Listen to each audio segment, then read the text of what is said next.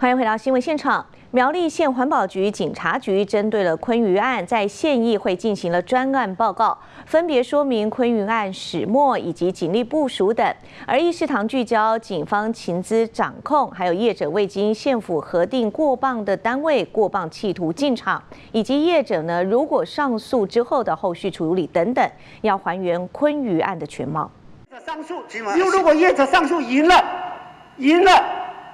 请问一下，如果你是你是你还是环保局长，你同意不同意他设立？造桥乡昆宇案专案报告，议事堂交锋不断。七月二十一号流血冲突，警方有掌握情资吗？又该如何检讨？你们到底有没有去检讨这件事情？我讲后续应该要怎么样来检讨？来来做检讨？有没有人必须要针对这件事情来负责？这个部分呢，我们绝对不必责。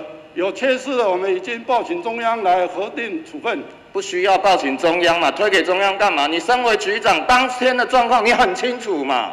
我们有的是全责外，谁缺失？谁有缺失？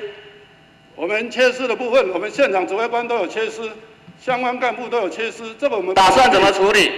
我们已经报请中央来议处。冲突失控，就责免不了。此外，当天清运机具过磅的单位，并非是县府核定的过磅站，却企图进场，也被提出。一准计划内容，那如果赵局长这样说法，即便他事后补正帮单也没有问题，也没有问题的情况之下。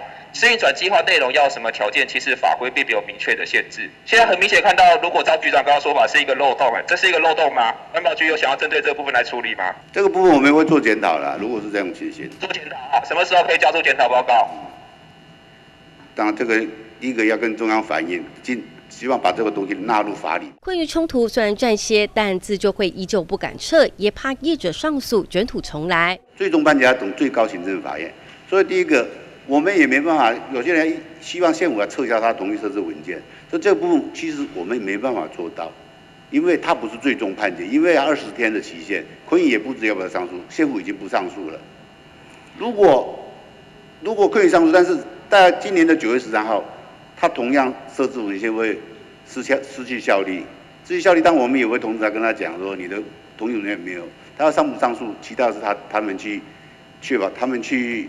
诉求他们自己的权利，就责过失检讨都是讨论重点。实际上，一切都还未落幕，后续县府业者自救会该如何应对，都得慎重，避免旧事重演。